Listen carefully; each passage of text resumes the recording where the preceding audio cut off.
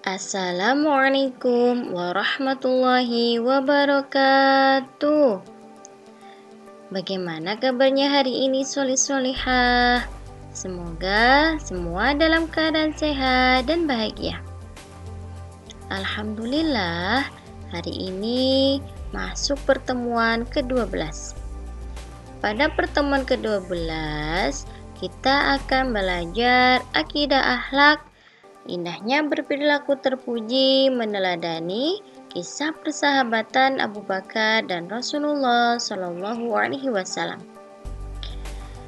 Sebelum pembelajaran dimulai, hendaknya kita mengawali segala aktivitas dengan membaca basmalah. Mari kita baca basmalah bersama. Bismillahirrahmanirrahim. Semoga kita dimudahkan dalam belajar dan ilmu yang kita dapat bermanfaat. Amin. Tujuan pembelajaran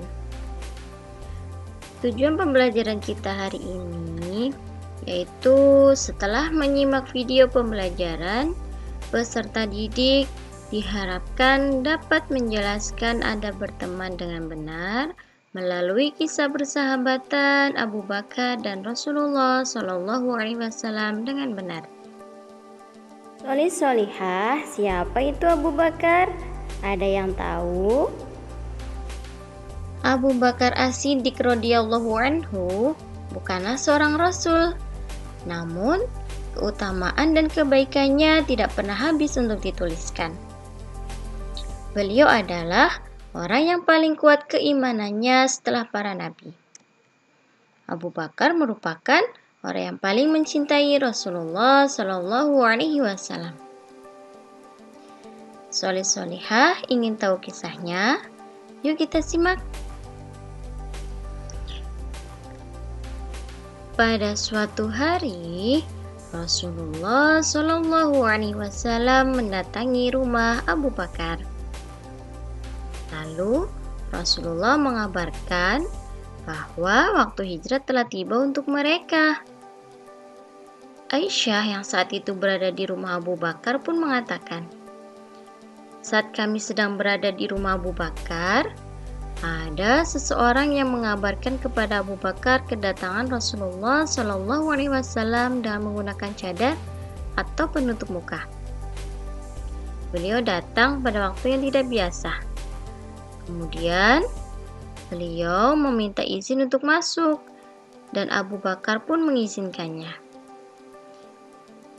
Rasulullah Shallallahu Alaihi Wasallam bersabda, perintahkan keluargamu untuk hijrah.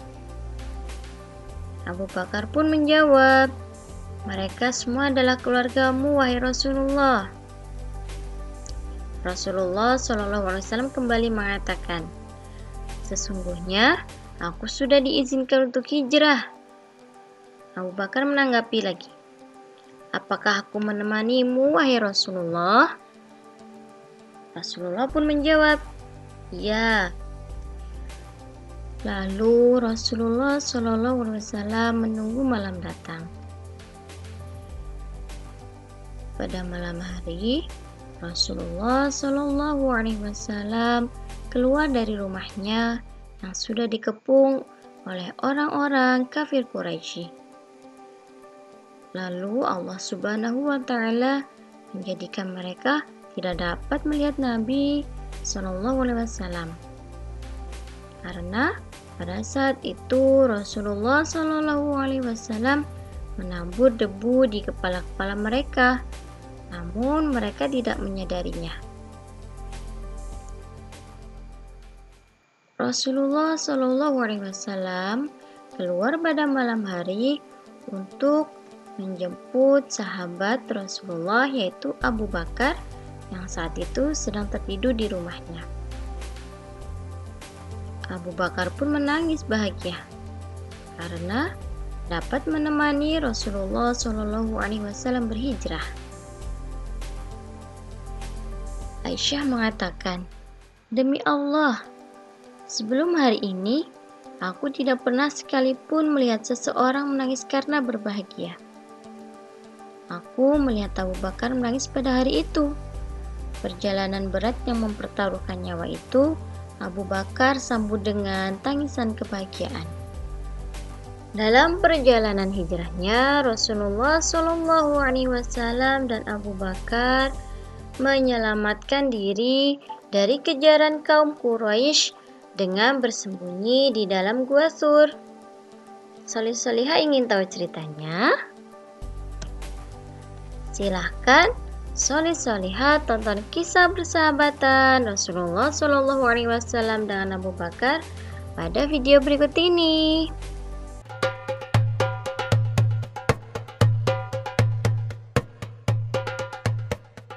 Goa Sur adalah tempat Rasulullah dan Abu Bakar bersembunyi dari kejaran sejumlah orang-orang pilihan kabilah Quraisy dengan pedang terhunus siap membunuh beliau.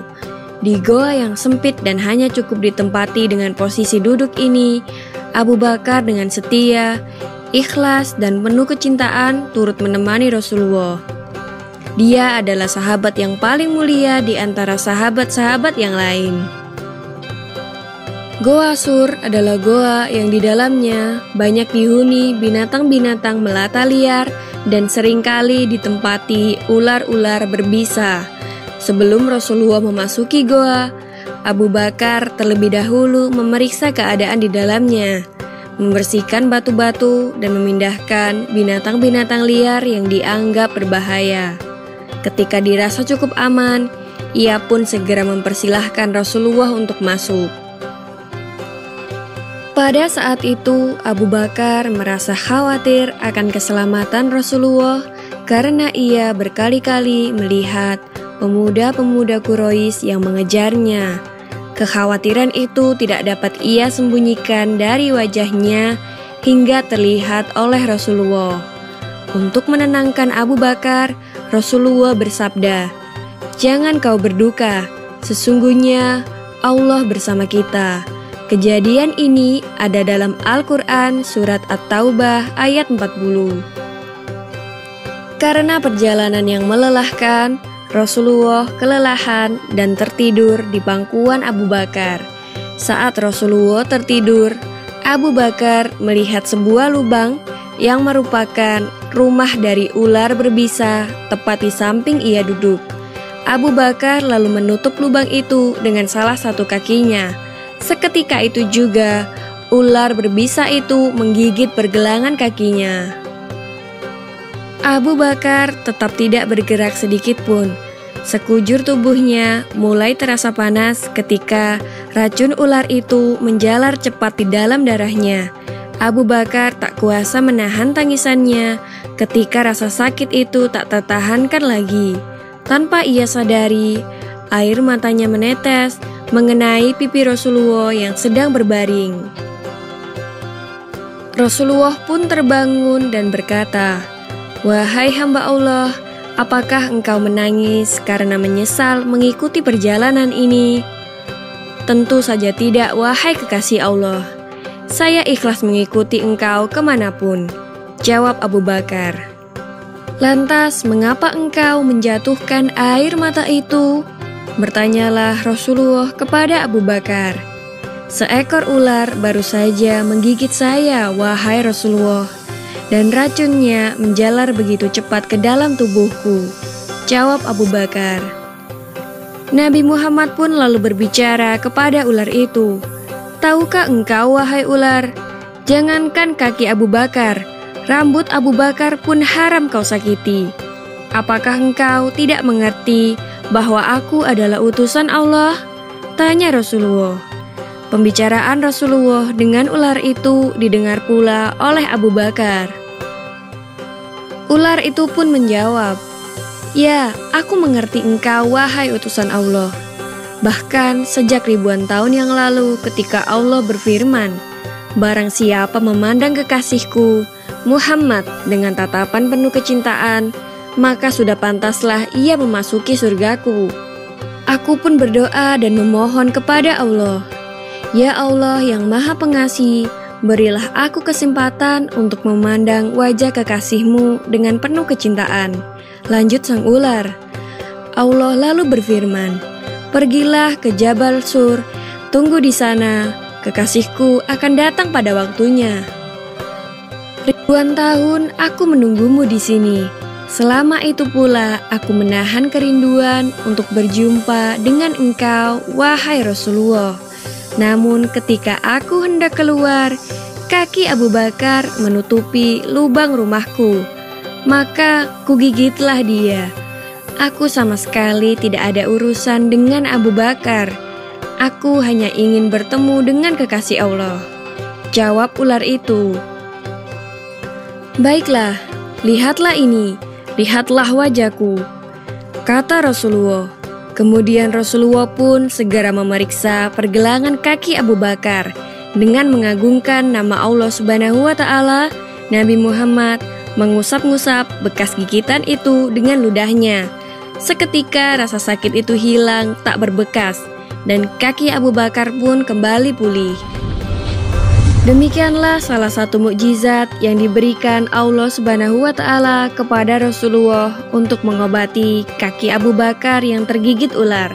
Semoga kita dapat meneladani kisah ini dan senantiasa berdoa untuk Nabi kita Muhammad Shallallahu Alaihi Wasallam sebagai bentuk kerinduan kita. Amin ya Robbal 'Alamin.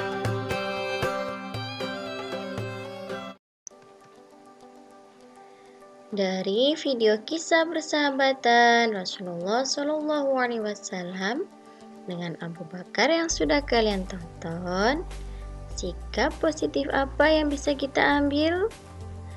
Silahkan solih-solihah pikirkan dan akan kita bahas di pertemuan berikutnya. Setelah ini, silahkan solih-solihah kerjakan evaluasi melalui link Google Form yang sudah Bu Guru bagikan. Sekian, terima kasih. Mari kita tutup dengan membaca hamdalah bersama. Alhamdulillahi Rabbil Alamin. Selamat belajar, jaga selalu kesehatan. Jangan lupa istiqomah dalam membaca dan menghafal Al-Quran. Bu Guru akhiri. Wassalamualaikum warahmatullahi wabarakatuh.